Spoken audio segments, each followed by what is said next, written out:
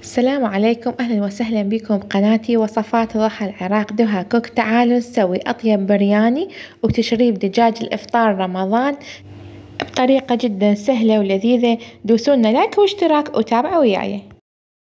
نبدأ وصفتنا. بسم الله. راح أحضر أول شي تشريب دجاج.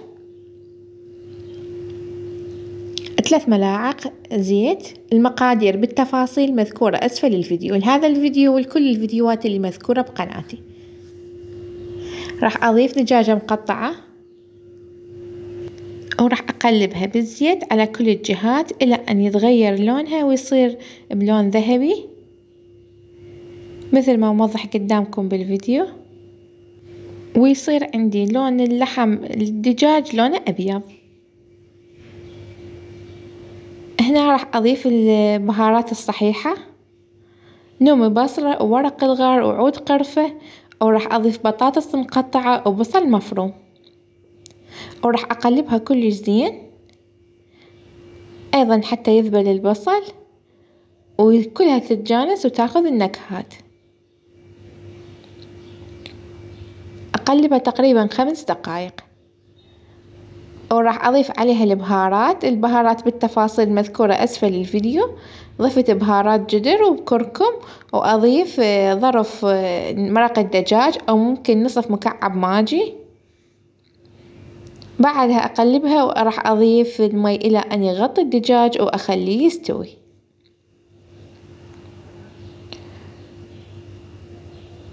مثل ما تلاحظون أنا ما ضفت أي ملح إلا بعد استواء الدجاج. هنا عندي بعد ما استوى تمام راح أضيف عليه ملح حسب الرغبة وراح أضيف عليه حمص مسلوق ومستوي بهاي الطريقة.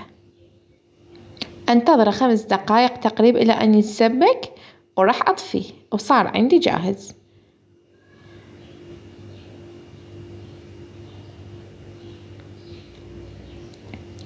وهنا قلبت التمن سويت تمن أبيض سادة أحمسه بالزيت بالبداية وبعدها إن نشف المي عندي هنا راح أهدره راح أضيف عليه ملعقتين من الدهن الحر وراح أغطيه حتى يذوب وياخذ النكهة.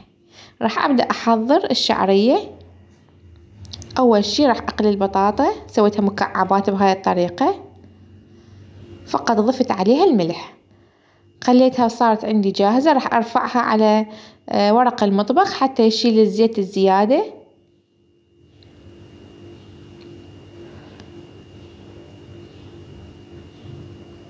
وراح أضيف هنا بعدها راح صارت عندي بهذا الشكل راح أضيف الشعرية.